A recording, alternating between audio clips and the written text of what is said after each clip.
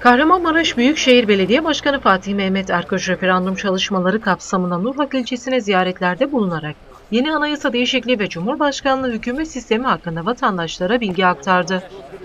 Referandum çalışmalarını sürdüren Büyükşehir Belediye Başkanı Fatih Mehmet Erkoç Nurhak ilçesinde bazı temaslarda bulundu. Erkoç'un Nurhak ilçesindeki ilk durağı Evet Bürosu oldu. Evet Bürosu'nda bulunan vatandaşlara hitap eden Başkan Erkoç, Nurhak ilçesine yapılan ve yapılacak olan hizmetlere değindi. Hem sizlere karşı sorumluyuz hem de Cenab-ı Rabbil Alemine karşı sorumluluğumuz var. Tüm imkanlarımızı Nur Hak'ta seferber ettik. Nur Hak merkezde kanalizasyon altyapısını değiştirdik. Değiştirdik değil mi? Evet. Evet. Nur Hak'ın altyapısını değiştirdik, kanalizasyonu değiştirdik. Nur Hak merkezde yollara asfalt yapıyoruz, parke yapıyoruz. Bir- Büyük bir kısmını yaptık. Kullar, tatlar ilk defa sıcak asfaltla tanıştı. Ana arterlerini yaptık.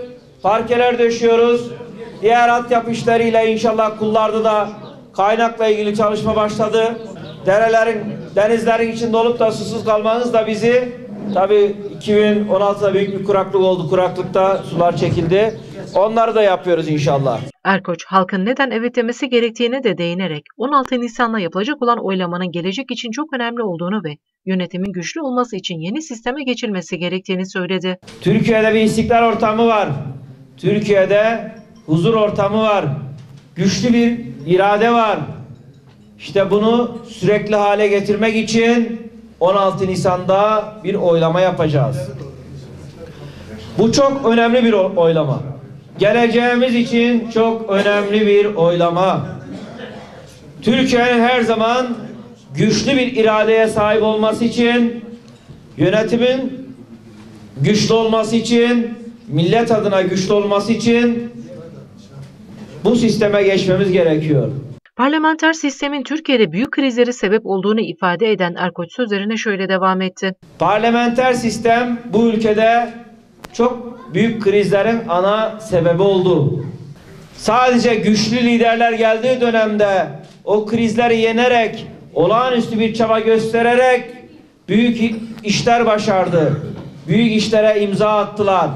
Cumhuriyet ilelebet bizim rejimimiz olmaya devam edecek. Bunda bir problem sorun yok. Gazi Mustafa Kemal Atatürk büyük hedefler ortaya koymuştu.